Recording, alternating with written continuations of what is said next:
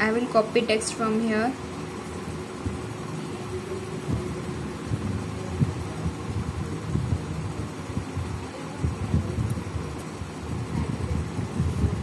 When you will click on this press shift and select the text.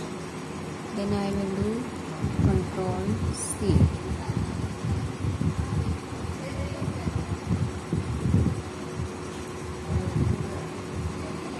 this way you can copy the text also. And one more thing. I will print now text you can see. D T F okay. Now you can see here a lot of text is there generated by default. Why so?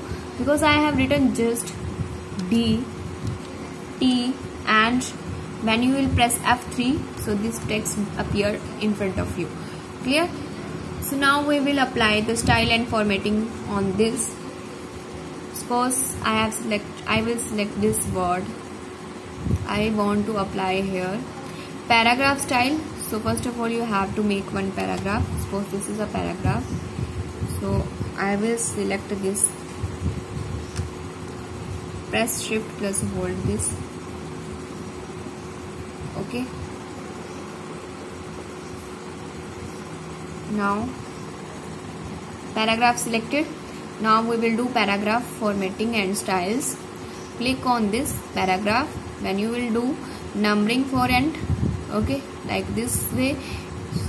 Okay and numbering for start like this.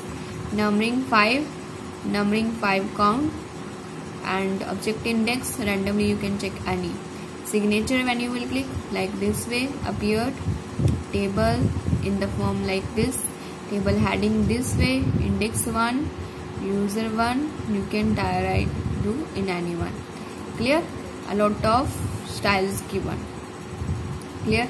Next is character style. Character style you can select any single character also and uh, collection of characters also like a word. Okay first is the bullets. Character formatting when I will click on this so text bold caption character like this default by default. Definition will appear like this drop caps like this and emphasis like this and not like this. Example appear like this. Okay internet link